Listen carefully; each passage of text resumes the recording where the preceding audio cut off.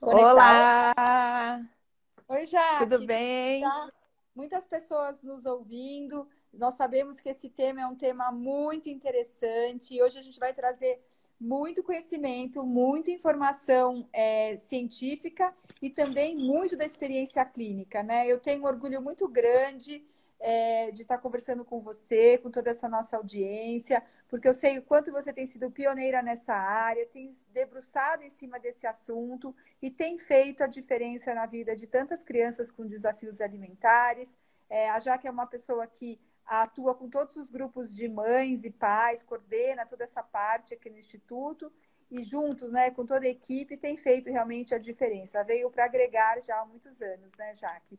É, é como eu falei, a Jaque está fazendo mestrado na Unifesp, nesse momento, nessa área, e ela vai contar um pouquinho. É, primeiro se apresenta um pouco, né, Jaque? Conta aí por que, que você é uma psicóloga tão diferente, né? A gente fala que não é, é igual o time nosso lá do Instituto, né? É, é tem uma formação e, e, e se propôs né, olhar para essas crianças de um jeito também ampliado.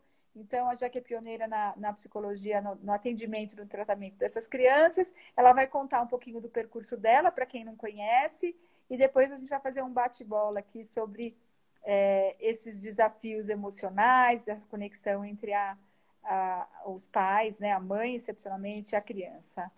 Pode contar para a gente, Jaque.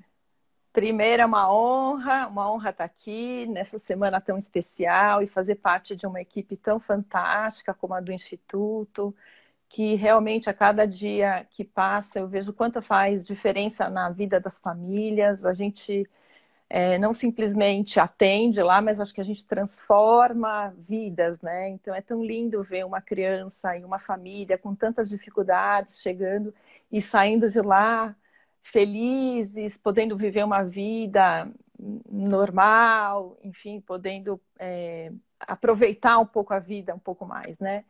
Então é uma honra.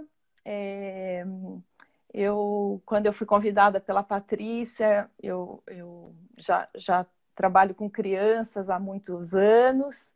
Eu falei, ah, é um trabalho, mais um trabalho com crianças e com famílias. E, e qual foi a minha surpresa e, e o quanto eu não fiquei é muito curiosa e o quanto eu estou estudando até hoje de que não é simplesmente ir lá atender crianças do ponto de vista né, psicológico. Então, eu tive que me reinventar, reconstruir toda uma, uma toda uma, uma imagem que eu tinha né, das famílias, das crianças, da parte emocional. E estou aqui um pouco hoje para contar um pouco para vocês o trabalho que a gente vem realizando, que não é um trabalho é, só meu, mas é um trabalho de uma equipe inteira. Então, é, fico feliz pelos elogios, mas os elogios se remetem, acho que é toda uma equipe, né? A gente lá não trabalha sozinho, a gente trabalha em conjunto para fazer essa transformação tão tão intensa que a gente faz na vida dessas famílias, né, né, Paty? Com certeza. E eu, e eu venho falando, e, e eu, hoje eu venho falando um pouco da conexão da mãe e do filho. Realmente o que a Paty falou é, é a base da minha tese de mestrado. É, e, e, me interessou, e eu estou estu estudando um pouco mais sobre isso, é, porque eu vejo na minha prática o quanto essa conexão é importante no trabalho. Né? Lá no Instituto, né, Paty? Todos os pais, os cuidadores, principalmente as mães, elas participam do processo de atendimento. Não é simplesmente o profissional vai lá e com todo o seu saber é, tenta transformar é, e ajudar essa criança. Né? É um trabalho que a gente fala que é um trabalho que envolve a família como um todo. E o quanto que você fala lindamente no seu livro, né? Que é aquela foto do, do, da máscara de, de oxigênio que cai, né? O quanto a gente precisa primeiro pôr a máscara primeiro em nós para depois pôr na criança, né? Porque a criança se espelha muito em nós, enquanto mães. Não sei se vocês às vezes chegam em casa, já chegaram em casa, ou em algum momento de alguma preocupação muito grande, principalmente os maiorzinhos, né, que já conseguem se comunicar e se expressar melhor. Mamãe, o que, que você tem? Você está bem hoje? Né? Essa é a conexão que existe. Né? E, e justamente vários estudos vêm trazendo ao longo do tempo e principalmente no momento essa conexão que existe entre pais e filhos, né? Que é uma conexão até cerebral. Né? Então, é, vários estudos eles é, demonstram que os cérebros da mãe e do filho trabalham sincronizados como se fosse uma antena de Wi-Fi, sabe? Então, quanto, o, então, quanto é importante essa mãe também estar tá bem para poder ajudar esse filho que não está indo bem. Né?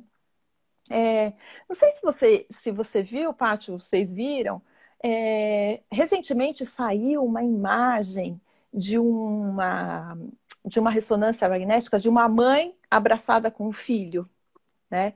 É, uma, é uma neurocientista, o nome dela é Rebecca Sachs, e ela quis estudar justamente essa conexão cerebral entre as mães e os filhos. E ela abraçou o filho dela, entrou dentro de uma, de uma máquina de ressonância e deu um beijo. E fizeram a imagem dos dois cérebros. E quando fizeram a imagem, os, onde acendeu no cérebro da mãe, acendeu no mesmo lugar no cérebro do filho. Portanto, né, isso prova mais do que cientificamente o quanto essa conexão ela realmente é, é importante. E, e nós na nossa desculpa, Jaque, e nós pode falar. E nós percebemos isso é, no dia a dia, não é? é Sim. Quantas vezes eu falo, né? Às vezes a gente recebe uma mãe que chega né, sofrida, que chega desesperançosa, que chega abatida, não é? E aí nós conseguimos, por meio daquele, daquela conversa, do acolhimento daquela mãe, né? Quando ela volta para trazer a criança, ela volta até mais arrumada, não é? Ela já volta falando, nossa, doutora, depois que eu vim aqui, mas o que, será que aconteceu? Explica aí, Jaque. o que, que acontece? A gente faz mágica? A primeira coisa é esse acolhimento que a gente faz da mãe, tirar tirá-la desse lugar de culpa que a gente faz faz muito esse trabalho, porque quem viu o vídeo que nós postamos ontem e meu filho não para quieto para comer, por quê? É, pode perceber que a alimentação ela envolve vários aspectos. Vários aspectos. A mãe é um deles. Mas elas vêm se colocando muito como o primeiro aspecto principal de que a criança não está comendo por conta dela. E quando ela começa a entender, a é, e passa a entender e a observar e conversar conosco e com as profissionais, ela começa a entender fala, opa, tem coisa aí que não, não depende só de mim. E elas se tranquilizam, né? Mas também tem uma, uma questão da esperança. Muitas vêm desacreditadas, nós fazemos muitas técnicas de visualização, algumas delas até referem que elas, quando a gente coloca para elas visualizarem o filho comendo, porque o pensamento ele é muito poderoso, né? São ondas eletromagnéticas que, como acabei de falar, como os cérebros estão entre, entreconectados como uma rede de Wi-Fi, aquilo que a mãe está pensando e está sentindo, a criança está captando. Então, se a, se a mãe está sem esperança, se a mãe não está acreditando, que dirá a criança, né? Então, é, quando a gente coloca, às vezes, essas mães nessas técnicas de visualização para visualizar o filho que é possível, o filho comendo, algumas falam, nossa, deu tela branca, não consigo visualizar nada. Ou preta, as... ou preta, ou branca, ou não visualiza nada. Né? E a partir do momento que você vai acolhendo e conseguindo trabalhar com a mãe, que é possível sim acreditar e que, e que é, o trabalho é possível ser realizado, elas começam a sonhar. Tem uma mãe que ela conta que ela teve um sonho uma noite de que a criança estava comendo batata frita com ela numa lanchonete super é, famosa. E ela falou que ela acordou com um sentimento bom no coração, que ela estava feliz e que quando ela acordou, ela falou: Nossa, mas será que aconteceu mesmo? Será que não aconteceu? É como se tivesse acontecido no dia anterior.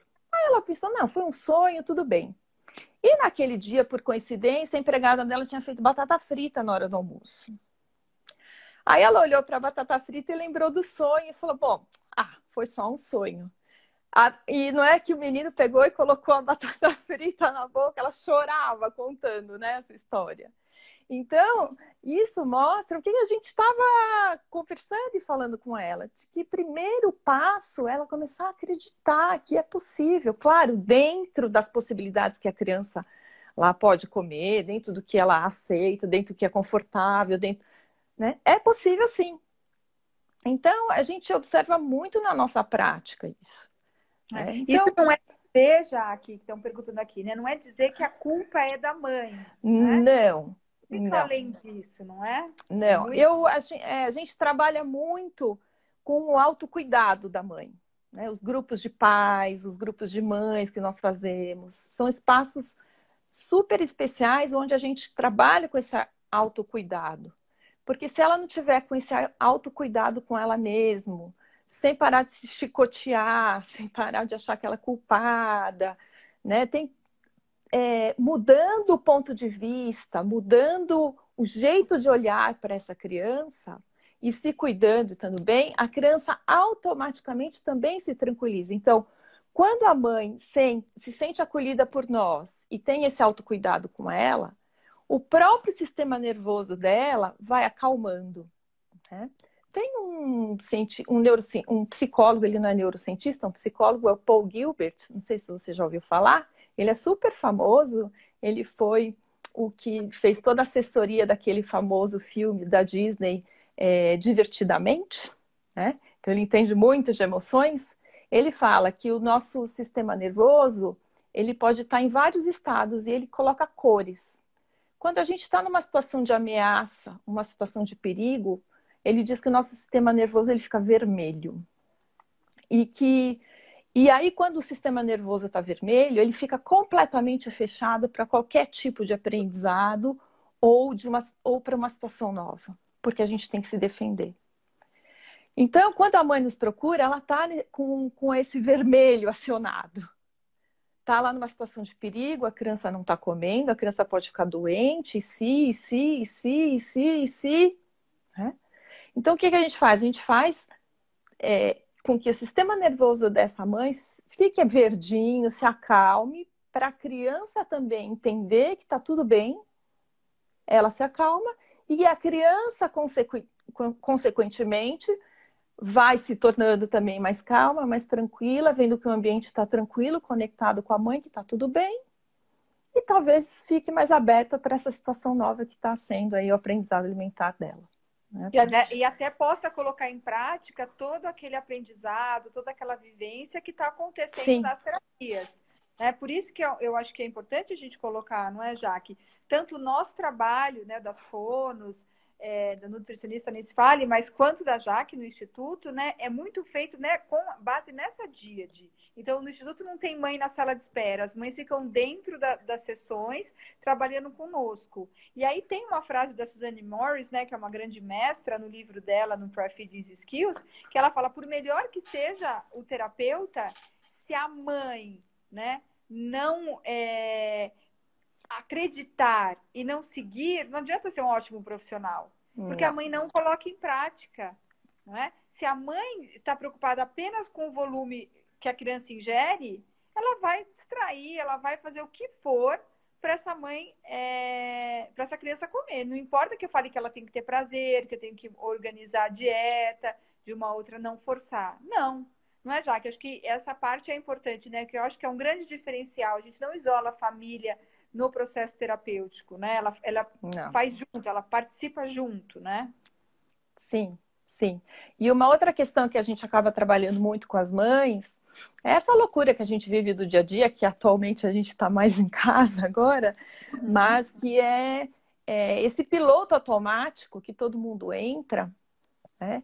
E que aí perde a sensibilidade de sentir o que está tá acontecendo no meio. Por quê?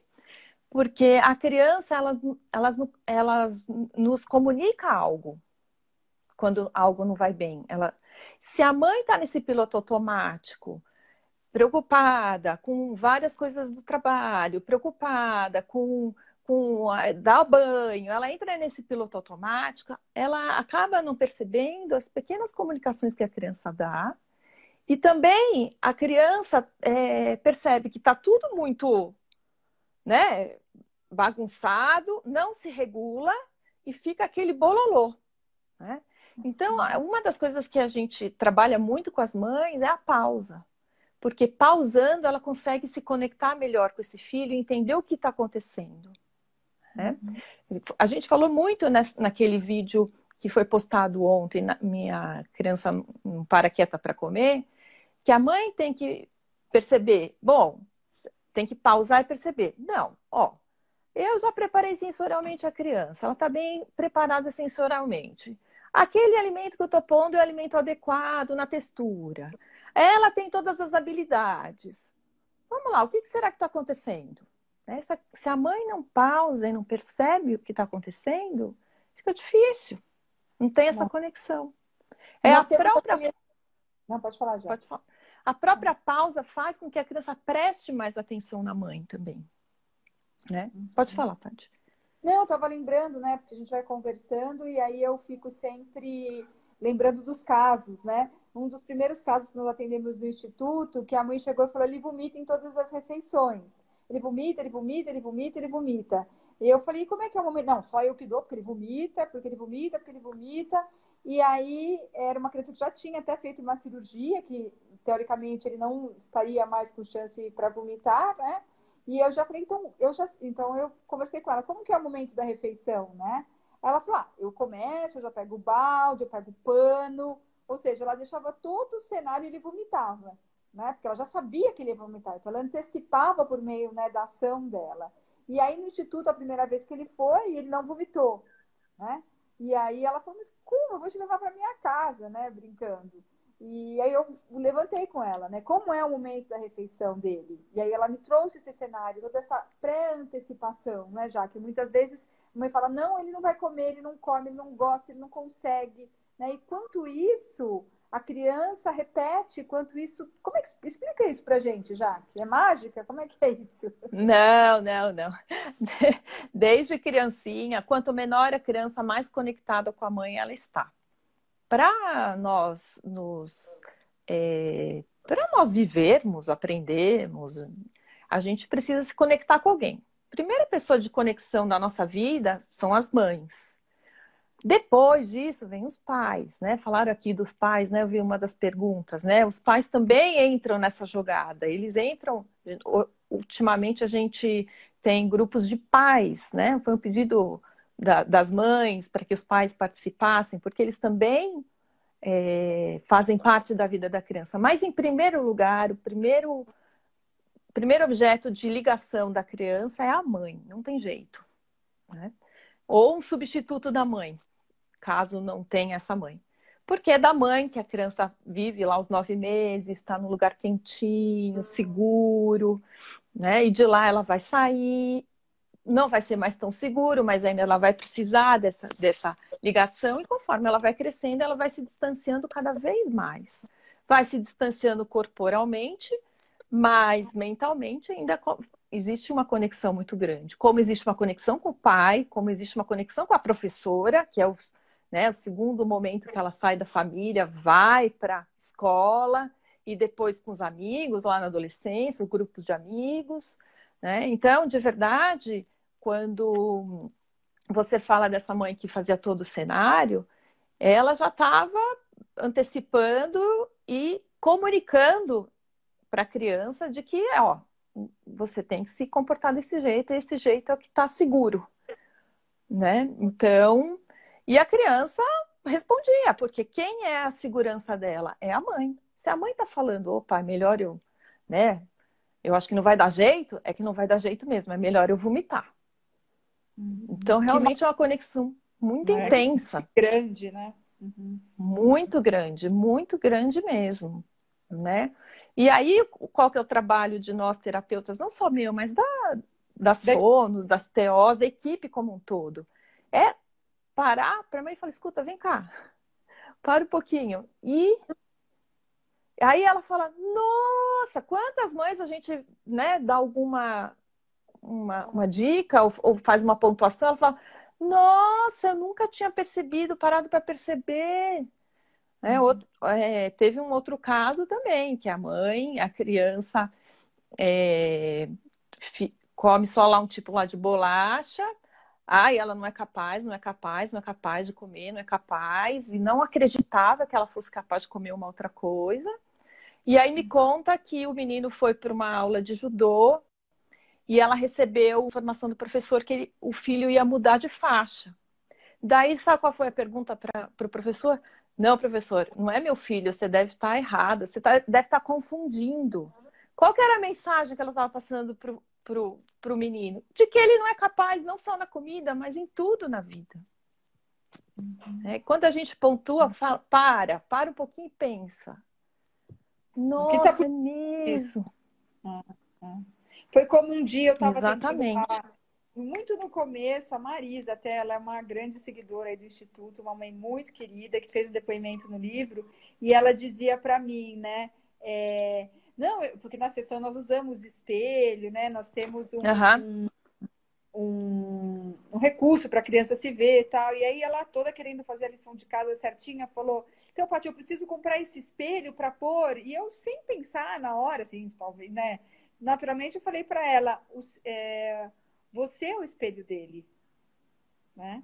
E isso fez assim, como se tivesse caído uma ficha para ela, né? Quando, como se ela tivesse, ela relata isso no livro, né? Como foi, aquele momento ela falou, uau, eu sou o espelho dele, como assim, né? Eu preciso estar tá bem, eu preciso passar essa segurança é, eh, para o meu filho no momento da alimentação né? Porque ela ficava com medo, ele foi uma criança que teve alergia alimentar, então a cada alimento que ela ia dar, ela tremia de medo. E a criança entendia o quê? O alimento é um perigo para mim, se eu comer, se eu colocar isso na boca, eu posso morrer. Então, não, não, não.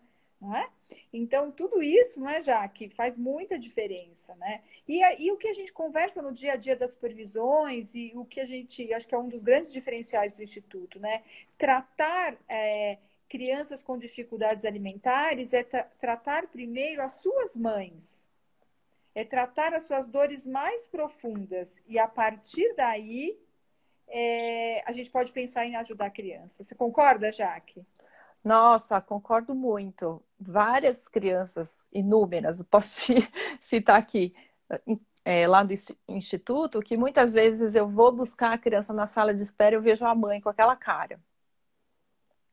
Daí eu falo, meu Deus, vamos lá. Oi, tudo bem? Ah, tudo, tal. Tudo bem, aí eu vou lá, atendo a criança.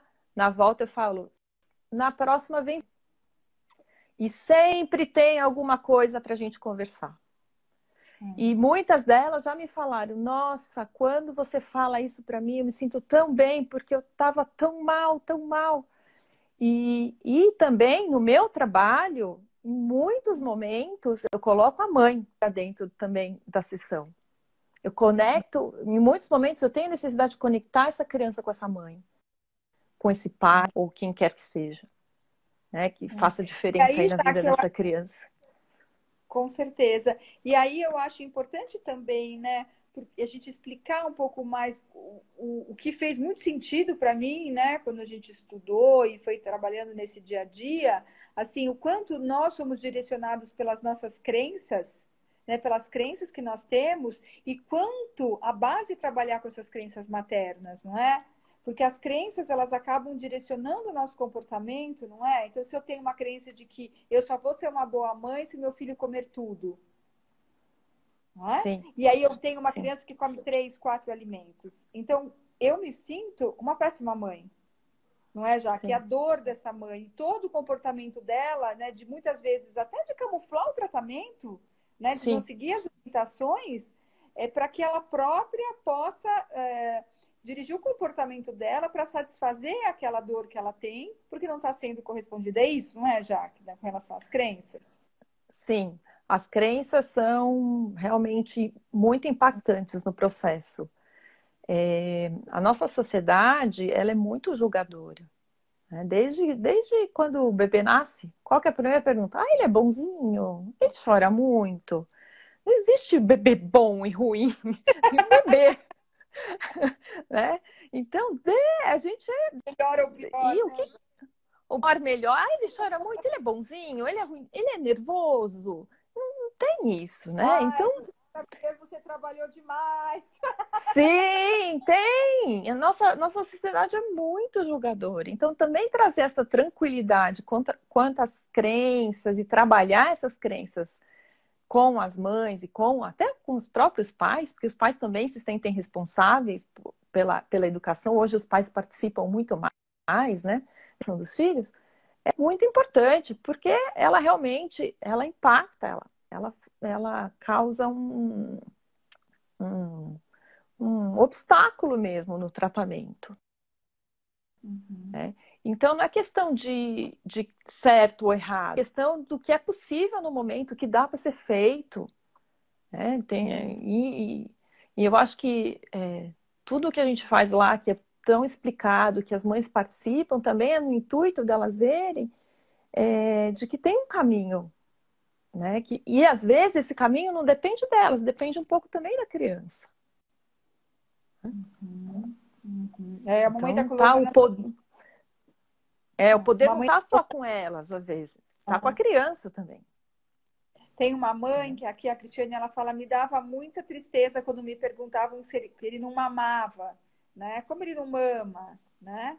É, então, é, é complicado, né?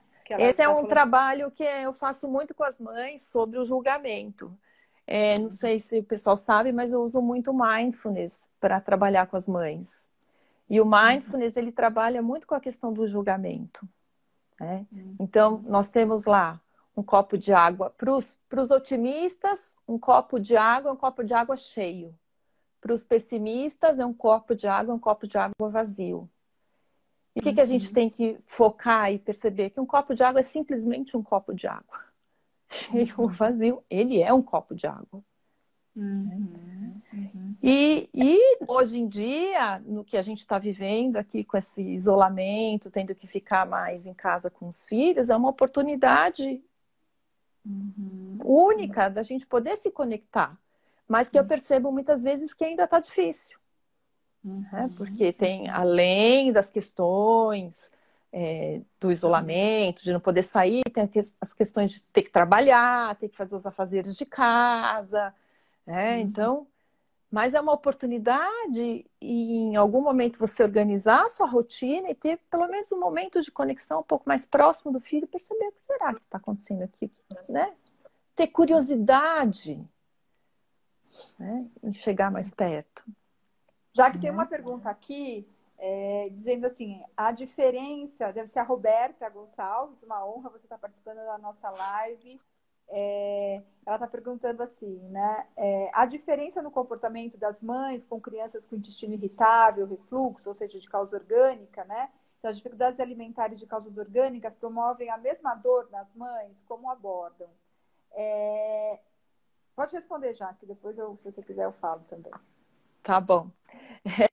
Isso é, é, é eu tenho, venho estudando o quanto, é, quanto, quando a mãe vê uma criança com uma questão orgânica que às vezes está lá em sofrimento, ela também sofre. Né? Então é, a ressonância também é recíproca. Né? E crianças com questões orgânicas trazem muitas preocupações para os pais. E essas preocupações muitas vezes geram muito estresse. Eu não sei se travou. Travou aí? Não, não sei. Não, tô ouvindo. Tô ouvindo. Não. E esse estresse. Agora travou.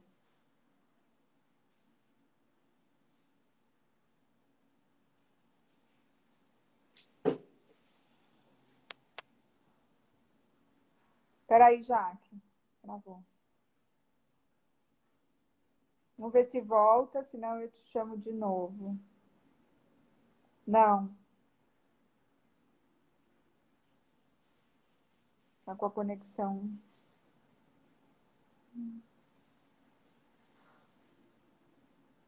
Eu acho que a gente vai ter que.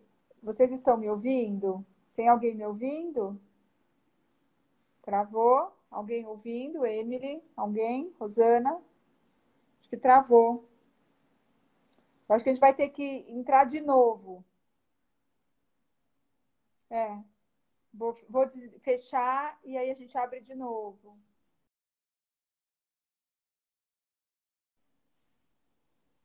Assim que a Jaque já está entrando, aí eu vou apresentá-la e a gente vai. Eu estou esperando ela, ela entrar aqui para a gente poder conectar. Olá! Oi, Jaque. Tudo bem? Tá?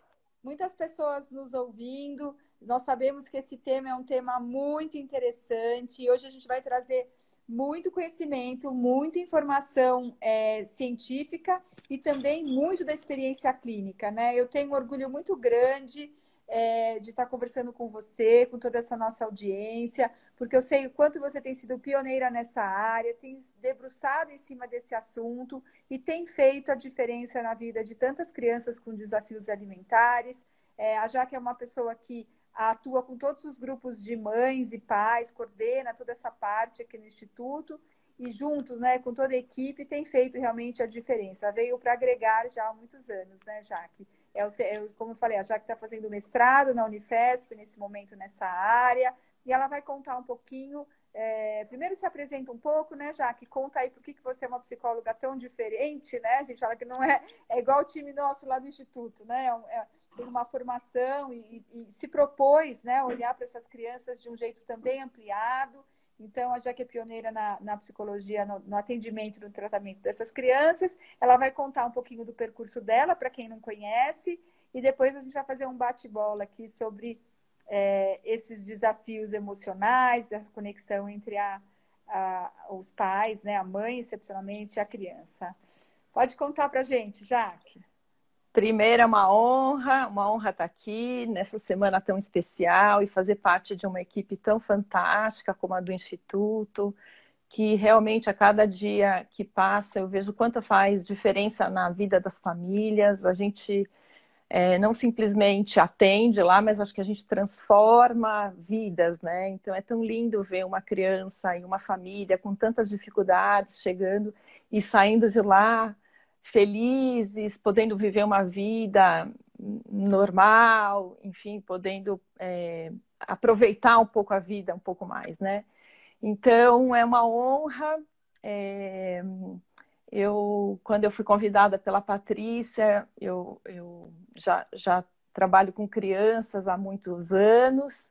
Eu falei, ah, é um trabalho, mais um trabalho com crianças e com famílias.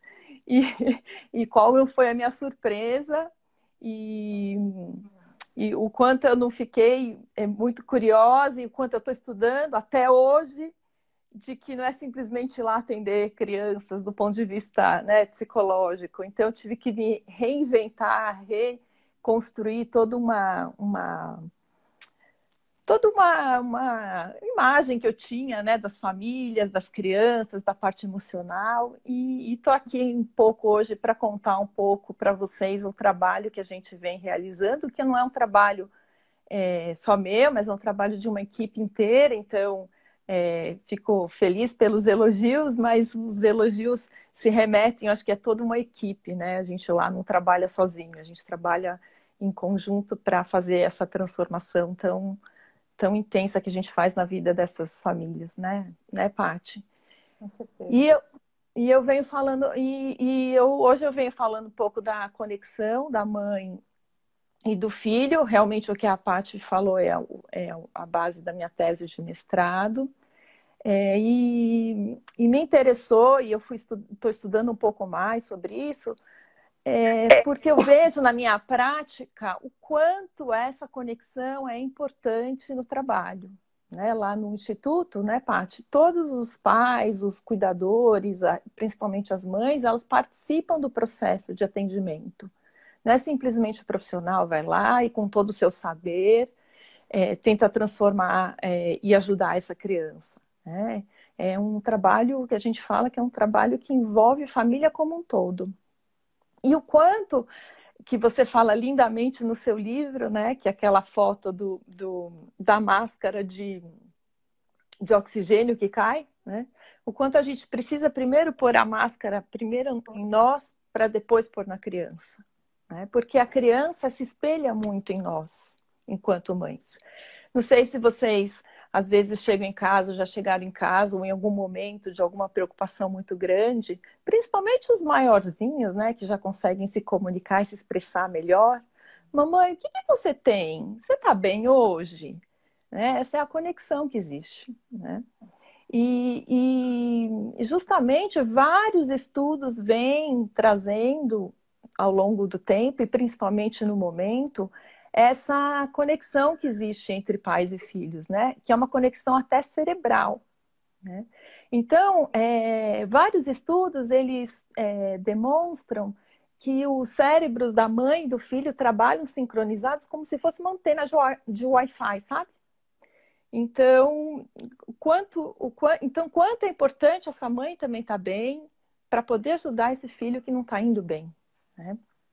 É, não sei se você, se você viu, Pátio, vocês viram, é, recentemente saiu uma imagem de uma, de uma ressonância magnética de uma mãe abraçada com um filho. Né? É, uma, é uma neurocientista, o nome dela é Rebecca Sachs, e ela quis estudar justamente essa conexão cerebral entre as mães e os filhos. E ela abraçou o filho dela, entrou dentro de uma, de uma máquina de ressonância e deu um beijo. E fizeram a imagem dos dois cérebros. E quando fizeram a imagem, os, onde acendeu no cérebro da mãe, acendeu no mesmo lugar no cérebro do filho. Portanto, né, isso prova mais do que cientificamente o quanto essa conexão ela realmente é, é importante. E, e nós na nossa. Desculpa, Jaque. E nós Pode falar. E nós percebemos isso é, no dia a dia, não é?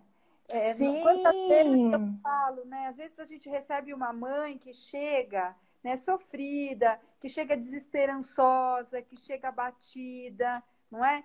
E aí nós conseguimos, por meio daquele, daquela conversa, do acolhimento daquela mãe, né? Quando ela volta para trazer a criança, ela volta até mais arrumada, não é? Ela já volta falando, nossa, doutora, depois que eu vim aqui, mas o que, será que aconteceu? Explica aí, Jaque.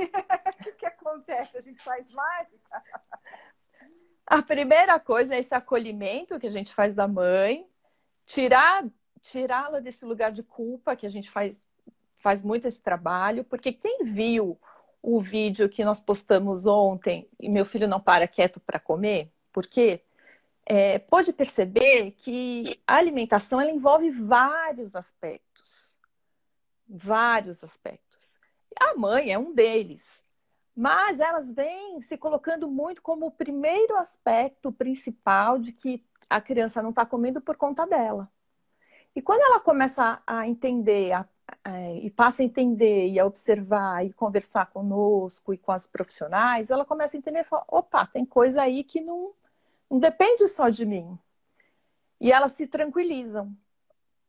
Né? Mas também tem uma, uma questão da esperança. Muitas vêm desacreditadas, nós fazemos muitas técnicas de visualização, algumas delas até referem que elas, quando a gente coloca para elas visualizarem o filho comendo, porque o pensamento ele é muito poderoso, né? São ondas eletromagnéticas que, como acabei de falar, como os cérebros estão entre, entreconectados como uma rede de Wi-Fi, aquilo que a mãe está pensando e está sentindo, a criança está captando. Então, se a, se a mãe está sem esperança, se a mãe não está acreditando, que dirá a criança, né? Então, é, quando a gente coloca, às vezes, essas mães nessas técnicas de visualização para visualizar o filho que é possível, o filho comendo, algumas falam, nossa, deu tela branca, não consigo visualizar nada. Ou preta, as... ou preta, ou branca, ou não visualiza nada. Né? E a partir do momento que você vai acolhendo e conseguindo trabalhar com a mãe, que é possível sim acreditar e que, e que é, o trabalho é possível ser realizado, elas começam a sonhar. Tem uma mãe que ela conta que ela teve um sonho uma noite de que a criança estava comendo batata frita com ela numa lanchonete super é, famosa. E ela falou que ela acordou com um sentimento bom no coração, que ela estava feliz e que quando ela acordou, ela falou: Nossa, mas será que aconteceu mesmo? Será que não aconteceu? É como se tivesse acontecido no dia anterior. Aí ela pensou: Não, foi um sonho, tudo bem. E naquele dia, por coincidência, a empregada dela tinha feito batata frita na hora do almoço. Aí ela olhou para a batata frita e lembrou do sonho e falou: Bom, ah, foi só um sonho. Ah, e não é que o menino pegou e colocou a batata frita na boca, ela chorava contando né, essa história. Então, isso mostra o que a gente estava conversando e falando com ela, de que primeiro passo é ela começar a acreditar que é possível, claro, dentro das possibilidades que a criança lá pode comer, dentro do que ela aceita, dentro do que é confortável, dentro, né? É possível sim. Então, a gente observa muito na nossa prática isso. Né? É. Então, isso não é dizer, já que estão perguntando aqui, né? Não é dizer que a culpa é da mãe. Né? Não. Muito não. além disso, não é? Não. Muito... Eu, a gente, é, a gente trabalha muito com o autocuidado da mãe. Né? Os grupos de pais, os grupos de mães que nós fazemos, são espaços super especiais onde a gente trabalha com esse autocuidado. Porque se ela não tiver com esse autocuidado com ela mesma, sem parar de se chicotear, sem parar de achar que ela é culpada, né? Tem é, mudando o ponto de vista, mudando o jeito de olhar para essa criança e se cuidando, estando bem, a criança automaticamente também se tranquiliza. Então, quando a mãe se, se sente acolhida por nós e tem esse autocuidado com ela, o próprio sistema nervoso dela vai acalmando. Né? Tem um, um, neuro, um psicólogo, ele não é neurocientista, um psicólogo é o Paul Gilbert, não sei se você já ouviu falar, ele é super famoso, ele foi o que fez toda a assessoria daquele famoso filme da Disney, é, Divertidamente, né? Então ele entende muito de emoções ele fala que o nosso sistema nervoso ele pode estar em vários estados e ele coloca cores. Quando a gente está numa situação de ameaça, uma situação de perigo, ele diz que o nosso sistema nervoso ele fica vermelho. E que e aí quando o sistema nervoso está vermelho, ele fica completamente fechado para qualquer tipo de aprendizado ou de uma ou para uma situação nova, porque a gente tem que se defender. Então, quando a mãe nos procura, ela está com, com esse vermelho acionado. Está lá numa situação de perigo, a criança não está comendo, a criança pode ficar doente, e se, e se, e se, e se, e se. Né? Então, o que, que, a gente faz? A gente faz é, com que o sistema nervoso dessa mãe fique verdinho, se acalme, para a criança também entender que está tudo bem, ela se acalma, e a criança, consequentemente, vai se tornando também mais calma, mais tranquila, vendo que o ambiente está tranquilo, conectado com a mãe, que está tudo bem, e talvez fique mais aberta para essa situação nova que está sendo aí o aprendizado alimentar dela. Né? E, até, e, até, possa colocar em prática todo aquele aprendizado, toda aquela vivência que está acontecendo Sim. nas terapias. É por isso que eu, eu, acho que é importante a gente colocar, não é, Jaque? Tanto o nosso trabalho, né, das fonos, é, da nutricionista se fale, mas quanto da Jaque no Instituto, né, é muito feito né, com base nessa díade. Então, no Instituto não tem mãe na sala de espera, as mães ficam dentro da, das sessões trabalhando conosco. E aí tem uma frase da Suzanne Morris, né, que é uma grande mestra no livro dela, no Feeding Skills, que ela fala, por melhor que seja o terapeuta, se a mãe, né, não é, acreditar e não seguir, não adianta ser um ótimo profissional. Porque a mãe não coloca em prática. Não é? Se a mãe está preocupada apenas com o volume que a criança ingere, ela vai distrair, ela vai fazer o que for para essa mãe, é, para essa criança comer. Não importa que eu fale que ela tem que ter prazer, que eu tenho que organizar a dieta, de uma outra não forçar. Não, não é, Jaque? Acho que essa parte é importante, né? Que eu acho que é um grande diferencial. A gente não isola a família no processo terapêutico, né? Ela, ela faz junto, ela participa junto, né? Sim, sim. E uma outra questão que a gente acaba trabalhando muito com as mães é essa loucura que a gente vive do dia a dia, que atualmente a gente está mais em casa agora, uhum. mas que é, é, esse piloto automático que todo mundo entra, né? E que aí perde a sensibilidade de sentir o que está tá acontecendo no meio. Por quê? Porque a criança, elas, elas, elas nos comunica algo quando algo não vai bem. Ela, se a mãe está nesse piloto automático, preocupada com várias coisas do trabalho, preocupada com, com dá banho, ela entra nesse piloto automático, ela acaba não percebendo as pequenas comunicações que a criança dá. E também a criança é, percebe que está tudo muito né, bagunçado, não se regula e fica aquele bololô. Né? Então, uma das coisas que a gente trabalha muito com as mães é a pausa. Porque pausando, ela consegue se conectar melhor com esse filho e entender o que está acontecendo. Né? Uhum. A gente falou muito nesse, naquele vídeo que foi postado ontem, na, minha criança não para quieta para comer, que a mãe tem que perceber, bom, tem que pausar e perceber. Não, ó, eu já preparei sensorialmente a criança, ela está bem preparada sensorialmente. Aquele alimento que eu estou pondo é o alimento adequado na textura. Ela tem todas as habilidades. Vamos lá, o que será que está acontecendo? Essa, se a mãe não pausa e não percebe o que está acontecendo, fica difícil. Não tem essa conexão. É Nós a própria. Não, pode falar já. Pode falar. A própria pausa faz com que a criança preste mais atenção na mãe também. Né? Pode uhum. falar, Tati. Não, eu estava lembrando, né? Porque a gente vai conversando e aí eu fico sempre lembrando dos casos, né? Um dos primeiros casos que nós atendemos no instituto, que a mãe chegou e falou: ele vomita em todas as refeições. Ele vomita, ele vomita, ele vomita, ele vomita. E eu falei, como é que é o momento? Não, só eu que dou, porque ele vomita, porque ele vomita, porque ele vomita.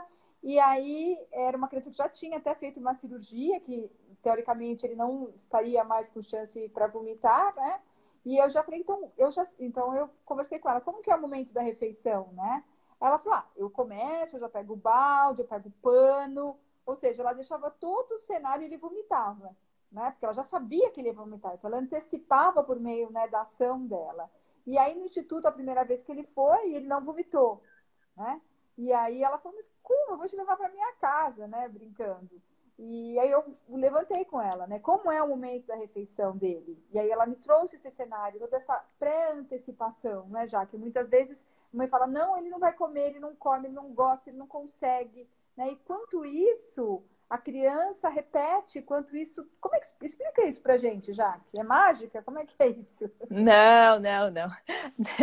Desde criancinha, quanto menor a criança, mais conectada com a mãe ela está. Para nós nos é, para nós vivermos, aprendermos, a gente precisa se conectar com alguém. Primeira pessoa de conexão da nossa vida são as mães. Depois disso, vem os pais, né? Falaram aqui dos pais, né? Eu vi uma das perguntas, né? Os pais também entram nessa jogada. Eles entram. Ultimamente a gente tem grupos de pais, né? Foi um pedido da, das mães para que os pais participassem, porque eles também é, fazem parte da vida da criança. Mas, em primeiro lugar, o primeiro, primeiro objeto de ligação da criança é a mãe, não tem jeito. Né? Ou um substituto da mãe caso não tenha essa mãe. Porque é da mãe que a criança vive lá os nove meses, está num lugar quentinho, seguro, né? E de lá ela vai sair, não vai ser mais tão seguro, mas ainda ela vai precisar dessa, dessa ligação, e conforme ela vai crescendo, ela vai se distanciando cada vez mais. Vai se distanciando corporalmente, mas mentalmente ainda existe uma conexão muito grande. Como existe uma conexão com o pai, como existe uma conexão com a professora, que é o né? O segundo momento que ela sai da família, vai para a escola e depois com os amigos lá na adolescência, os grupos de amigos, né? Então, de verdade, quando você fala dessa mãe que fazia todo o cenário, ela já estava antecipando e comunicando para a criança de que, ó, você tem que se comportar desse jeito, e esse jeito é o que está seguro, né? Então, e a criança respondia, porque quem é a segurança dela? É a mãe. Se a mãe está falando, opa, é melhor eu, né? Eu acho que não vai dar jeito, é que não vai dar jeito mesmo, é melhor eu vomitar. Uhum. Então, realmente é uma conexão muito é intensa. Grande, né? Uhum. Muito grande, muito grande mesmo, né? E aí, qual que é o trabalho de nós terapeutas, não só meu, mas da, das fonos, das TOs, da equipe como um todo? É parar para a mãe e falar: escuta, vem cá, para um pouquinho. E aí ela fala: nossa, quantas mães a gente né, dá alguma uma, uma dica ou, ou, faz uma pontuação, ela fala: Nossa, eu nunca tinha percebido, parado para perceber. É, outro, é, teve um outro caso também, que a mãe, a criança é, fi, come só lá um tipo lá de bolacha, ai, ela não é capaz, não é capaz, não é capaz de comer, não é capaz, e não acreditava que ela fosse capaz de comer uma outra coisa. E aí me conta que o menino foi para uma aula de judô e ela recebeu informação do professor que ele, o filho ia mudar de faixa. Daí, sabe qual foi a pergunta para o pro professor? Não, professor, não é meu filho, você deve estar errada, você tá, deve estar confundindo. Qual que era a mensagem que ela estava passando pro, pro menino? De que ele não é capaz, não só na comida, mas em tudo na vida. É, quando a gente pontua, fala, para, para um pouquinho e pensa. Nossa, tá... é mesmo. Foi como um dia eu estava Exatamente.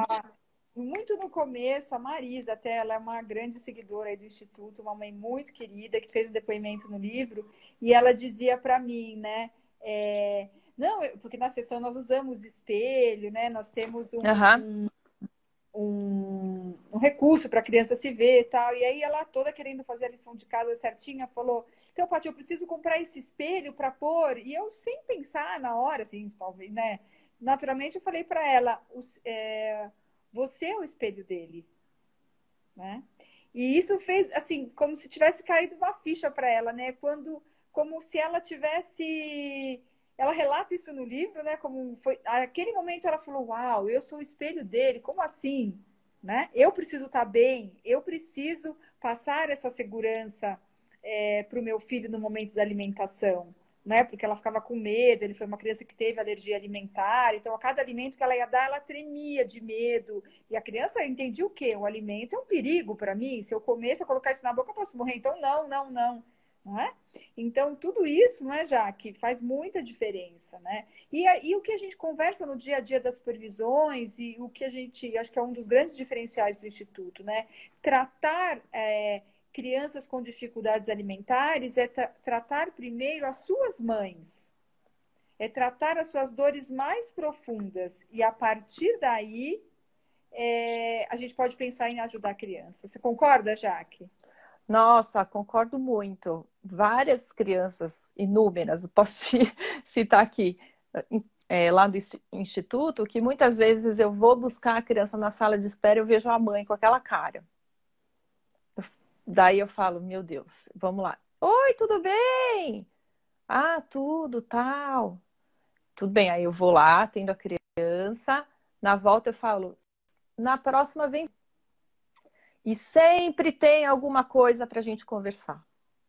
Hum. E muitas delas já me falaram: Nossa, quando você fala isso para mim, eu me sinto tão bem, porque eu estava tão mal, tão mal. E, e também no meu trabalho, em muitos momentos, eu coloco a mãe para dentro também da sessão. Eu conecto, em muitos momentos, eu tenho necessidade de conectar essa criança com essa mãe, com esse pai, ou quem quer que seja, né? Que faça diferença aí, aí, na vida dessa criança. Com certeza. E aí eu acho importante também, né? a gente explicar um pouco mais o, o, o que fez muito sentido para mim, né? Quando a gente estudou e foi trabalhando nesse dia a dia, assim, o quanto nós somos direcionados pelas nossas crenças, né, pelas crenças que nós temos e quanto a base trabalhar com essas crenças maternas, não é? Porque as crenças, elas acabam direcionando o nosso comportamento, não é? Então, se eu tenho uma crença de que eu só vou ser uma boa mãe se meu filho comer tudo, não é? Sim. E aí eu tenho uma Sim. criança que come três, quatro alimentos. Então, eu me sinto uma péssima mãe não é, já que a dor dessa mãe, todo o comportamento dela, né, de muitas vezes até de camuflar o tratamento, né, de não seguir as limitações, é para que ela própria possa é, dirigir o comportamento dela para satisfazer aquela dor que ela tem, porque não está sendo correspondida. É isso, não é, Jaque, né, com relação às crenças? Sim, as crenças são realmente muito impactantes no processo. É, a nossa sociedade ela é muito julgadora. Né? Desde, desde quando o bebê nasce, qual que é a primeira pergunta? Ah, ele é bonzinho, ele chora muito. Não existe bebê bom e ruim. bebê. né? Então, a gente é. Melhor ou pior. E o que... o maior melhor, ah, ele chora muito, ele é bonzinho, ele é ruim, ele é nervoso. Não, não tem isso, né? Ai, então. Você trabalhou demais. Sim, tem. A nossa, nossa sociedade é muito julgadora. Então, também trazer essa tranquilidade quanto, quanto às crenças e trabalhar essas crenças com as mães e com até com os próprios pais, porque os pais também se sentem responsáveis pela, pela educação. Hoje os pais participam muito mais, né? São dos filhos. É muito importante, porque ela realmente, ela impacta, ela, ela, ela causa um, um, um obstáculo mesmo no tratamento. Uhum. Né? Então, não é questão de, de certo ou errado, é questão do que é possível no momento, o que dá para ser feito. Né? Tem, e, e, eu acho que é, tudo que a gente faz lá, que é tão explicado, que as mães participam, também é no intuito delas verem é, de que tem um caminho. Né? Que, e às vezes esse caminho não depende delas, depende um pouco também da criança. Uhum, uhum. É, a mamãe então, tá, tá o poder, é, o poder mamãe... não está só com elas, às vezes, está uhum. com a criança também. Tem uma mãe que aqui a Cristiane ela fala me dava muita tristeza quando me perguntavam se ele, ele não mamava, né? Como ele não mama, né? É, então é, é complicado, né? Esse é tá um falando... trabalho que eu faço muito com as mães sobre o julgamento. É, não sei se o pessoal sabe, mas eu uso muito mindfulness para trabalhar com as mães. E o mindfulness ele trabalha muito com a questão do julgamento. Né? Então nós temos lá um copo de água para os otimistas, um copo de água, um copo de água cheio. Para os pessimistas é um copo de água, um copo de água vazio. E o que, que a gente uhum. tem que focar e perceber? Que um copo de água é simplesmente um copo de água. Cheio ou vazio, ele é um copo de água. Uhum, uhum. E, e, hoje em dia, no que a gente está vivendo aqui com esse isolamento, tendo que ficar mais em casa com os filhos, é uma oportunidade uhum. única da gente poder se conectar. Mas que eu percebo muitas vezes que ainda está difícil. Né? Uhum. Porque tem, além das questões é, do isolamento, de não poder sair, tem as questões de ter que trabalhar, ter que fazer os afazeres de casa, né? Uhum. Então, mas é uma oportunidade e em algum momento você organizar a sua rotina e ter pelo menos um momento de conexão um pouco mais próximo do filho, perceber o que será que está acontecendo aqui, né? Ter curiosidade, né? Em chegar mais perto. Já que tem uma pergunta aqui, é, dizendo assim, a diferença, deve ser a Roberta Gonçalves, uma honra você estar participando da nossa live. É, ela está perguntando assim, né? É, a diferença no comportamento das mães com crianças com intestino irritável, refluxo, ou seja, de causa orgânica, né? Então, as dificuldades alimentares de causas orgânicas promovem a mesma dor nas mães, como abordam? É... Pode responder já, que depois, eu, se você quiser, eu falo também. Tá bom. Isso é, é, é eu tenho, venho estudando né? O quanto, é, quanto quando a mãe vê uma criança com uma questão orgânica que às vezes está lá em sofrimento, ela também sofre. Né? Então é, a ressonância também é recíproca. Né? E crianças com questões orgânicas trazem muitas preocupações para os pais. E essas preocupações muitas vezes geram muito estresse. Eu não sei se travou. Travou aí? Não, não sei. Não, tô ouvindo. Tô ouvindo. Não. E esse estresse, então, né, que eu tava falando que as mães ficam preocupadas, isso gera um estresse. O estresse, por ele simples só, ele é, ele distribui na corrente sanguínea muito cortisol. Esse próprio cortisol ele é até exalado e a criança, ela até organicamente, ela, ela é, capta esse estresse da mãe. Então é muito comum, sim. Né? Não sei se você quer completar com alguma coisa. Sim, é.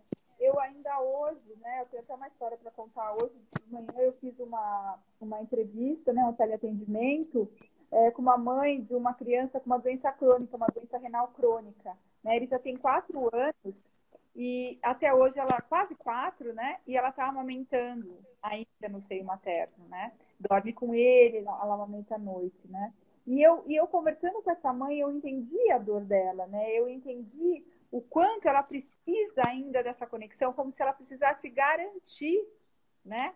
A sobrevivência dessa criança, como se ela pudesse garantir o amor através desse leite por ela. Né? Se a gente for olhar, imagina que absurdo, né? se eu fosse um olhar muito julgador sobre essa mãe, mas é uma criança que está usando outra via de alimentação, é uma, é uma criança que está indo para o transplante de rim, então é uma criança que tem muitos desafios, essa mãe vive com muito medo, ele precisa ganhar peso, ele precisa... Então, as crianças com doenças crônicas, né, as mães têm uma preocupação muito adicional. Existe uma preocupação real com relação à recusa alimentar ou à baixa ingesta, mas existe uma preocupação que é sobre a vida dessa criança.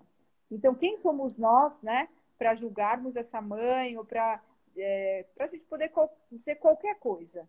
Né? Então, a gente acolhe, entende e tenta tornar né, esse momento pelo qual ela está passando é, o menos é, difícil possível. Né? Difícil vai ser, é?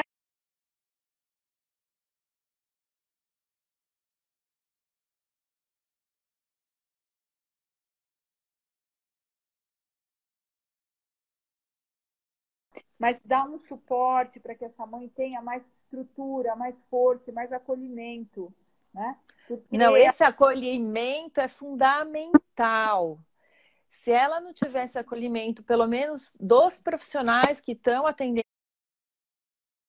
essa criança, e também se ela não tiver um momento de autocuidado com ela mesma, né, então aquilo vai, vai ter um peso mais do que já, já, já tem, real. Né? Ele fica com aquele peso. Assim, às duas da manhã ele me pedia, queria carne moída. Patrícia, eu desci e fazia. Eu ia pensar duas vezes, ele nunca come. Quando ele pedia duas da manhã carne, eu estava lá fritando carne, entendendo. Qualquer um Sim. pode dizer pouquinha de pedra. Mas quando você entende a jornada dessa criança, a jornada dessa mãe desde o nascimento, né, você consegue olhar para essa mãe é, com mais compaixão, né, com menos, eu sou a doutora que sei tudo, né, e o quanto a gente aprende é, com essa mães, né? E o quanto a gente precisa realmente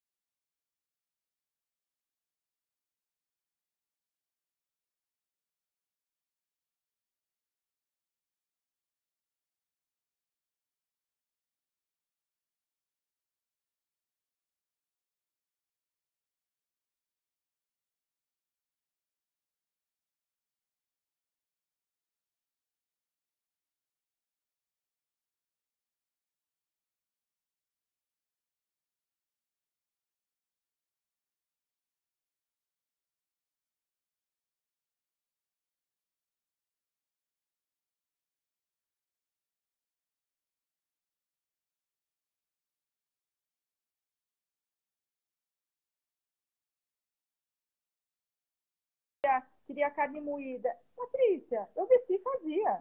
Eu ia pensar duas vezes, ele nunca come. Quando ele pedia duas da manhã carne eu estava lá fritando carne entendendo. Qualquer um Sim. pode dizer pouquinha de pedra. Mas quando você entende a jornada dessa criança, a jornada dessa mãe desde o nascimento, né, você consegue olhar para essa mãe é, com mais compaixão, né, com menos, ou sou a doutora que sei tudo, né, e o quanto a gente aprende é, com essa mãe, né? E o quanto a gente precisa realmente é, ajudar, né? Essas mães com síndrome de intestino curto, essas mães com doenças renais crônicas, né? Que passam, que às vezes tem que usar uma outra via de alimentação, né? Então, qual é a, é, é como ajudamos essa mãe, né? A, a, a ter o suporte emocional necessário. E eu falo sempre, né? Já que a gente conversa, nós aprendemos com ela mais do que elas pensam que a gente faz alguma coisa por elas, né? Acho que é. E olha, Paty, não precisa ser psicólogo não para acolher essa mãe. qualquer profissional. Ah, não, porque essa mãe é louca, precisa de um psicólogo. Não é isso. Basta você acolher, ter um olhar diferente, entendê-la na, na, na sua essência, no que está acontecendo, com, é, se conectar também com essa mãe, né? Então. Acho que não dá mais para você dizer que você é um profissional, profissional da área de saúde do terceiro milênio, que você não, não, não tem esses, essas ferramentas dentro de você, né? Eu acho que. Não. Manco, né? Acho que a ciência fica manca sem essa espiritualidade, sem esse, esse amor, sem esse acolhimento, né? Dizer que você é um excelente profissional, mas só que você não consegue acolher, só que você não consegue né, dar ouvidos e ter tempo, essa escuta ativa para essa família que chega, eu acho que é fundamental, essencial, né? Então, é o que a gente fala, Sim. espiritualidade, não espiritualidade no sentido religioso, mas espiritualidade não. do global, né? Que todos temos a essência, né? Da, de, de, princípios que nos mobilizam em situações difíceis, como a que estamos vivendo agora, do coronavírus e tantas outras, né? Quando a gente não vê a outro, é impossível a gente se sentir. Não é porque eu sou médico, eu sou, sou fonoaudióloga, eu sou psicóloga, tenho um sentimento que eu não consigo né, me solidarizar. Solidarizar. Solidarizar. Acho que é isso. É, agradecemos né, todos os comentários, a participação de centenas de pessoas nessa live. É, agradeço muito aos profissionais, que é uma pediatra, né, dizendo que a consulta muitas vezes é direcionada mesmo para escuta e para mãe, né? Sim. O pessoal da, da, do LADES também, grande presença aqui, dizendo que a aderência e participação nos parece ser dependente desse acolhimento, com certeza. A gente fala que a gente consegue aderência ao tratamento quando nós conseguimos né, acolher e, e, e, eu sempre falo também, né, já que a gente fala assim, a mãe fala, o que eu tenho que fazer? Aí eu falo assim, o que, o pediatra já falou para você fazer? O que, que o gastro já falou? O que, que o seu marido já falou? Eu não vou ser mais uma pessoa que vou falar o que você tem que fazer.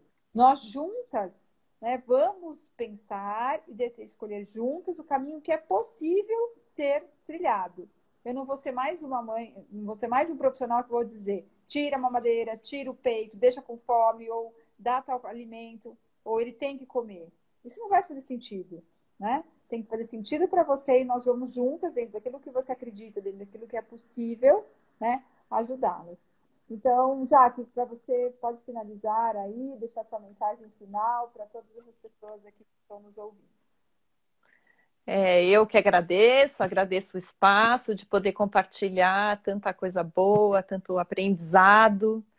Agradeço muito as mães e os pais do Instituto, que são os meus maiores professores até hoje, e a equipe que é maravilhosa, e esses cinco anos de Instituto, que foram cinco anos assim de muito de muitas conquistas de, né, e que vão ser muito, muito mais aí. É, e é isso, acho que conexão é tudo na vida.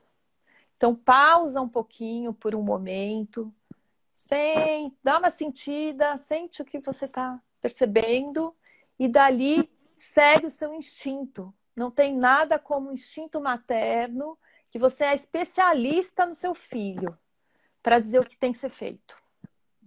Mas nós, pausa. Aqui, nós também, profissionais da área de saúde, quanto é importante a gente fazer essa pausa, Sim.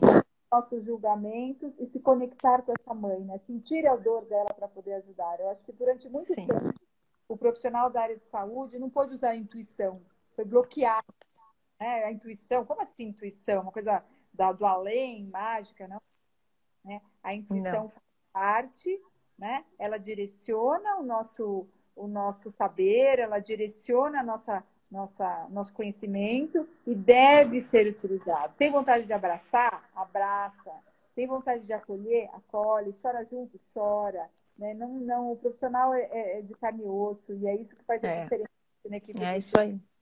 Jorre o seu amor, conecte com as mães, acolha, né? E, claro, a parte científica é essencial, fundamental, para que a gente junto, né, a, a, ciência e a espiritualidade possa acolher essas mães. Jaque, muito obrigada pelo seu trabalho. Eu é, que agradeço, Paty. Protocolos. É... eu não entendi o que, que é. Escreve aí, Rô, que é que a gente já está finalizando. né? Mas eu agradeço a presença de todos, tivemos uma participação maciça, que estou muito feliz com a nossa audiência. Só tenho a agradecer a todos vocês. É, nós não acertamos sempre, nós estamos na luta aí, um dia depois do outro, né, tentando fazer o nosso melhor, jogando o nosso amor, nossa expertise. É... Ah, vou escrever aqui. Por isso que nós temos protocolos rígidos com relação à avaliação, né? Nós seguimos muito, né? Lógico que nós temos né, um, um direcionamento para a entrevista inicial, mas nós damos muito ouvido para essas mães e nós seguimos é um protocolo de pergunta e resposta, né? Porque o objetivo maior é deixar essa mãe falar, deixar ela colocar o que vai dentro do coração. Às vezes ela já começa falando de quando o bebê nasceu e a criança já tem quatro anos, às vezes ela começa falando de hoje, e eu tenho que deixar ela falar e depois voltar lá na, no, na jornada alimentar. Então, são alguns dos, dos nossos, na nossa forma de atuação, tá bom? Um grande abraço, obrigada pela audiência até agora, temos quase uma hora de live. Muito obrigada, esperamos ter contribuído. E amanhã nós temos mais uma live maravilhosa, especial, né? e eu espero contar com a presença de todos vocês essa semana toda e até a semana que vem, às 5 da tarde, sempre uma live muito especial. Não percam, tá bom? A gente está preparando tudo com muito carinho, com muito amor para vocês, tá? Um beijo e amanhã eu sigo com a live com a Diandra Loureiro, nossa super nutricionista do Instituto, conversando com vocês, tá bom? Tchau, Jaque. Muito obrigada, querida. Um abraço a todos. Tchau, tchau, tchau, tchau. gente. Obrigada.